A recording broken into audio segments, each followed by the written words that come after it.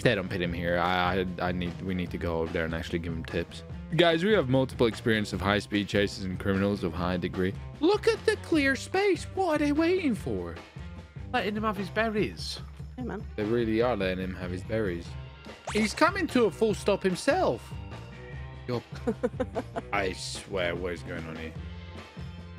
You're gonna get, it's one or the other. You're gonna get officers giving him an escort, or you're gonna get one nutter that's, uh, that's gonna bloody dropkick somebody.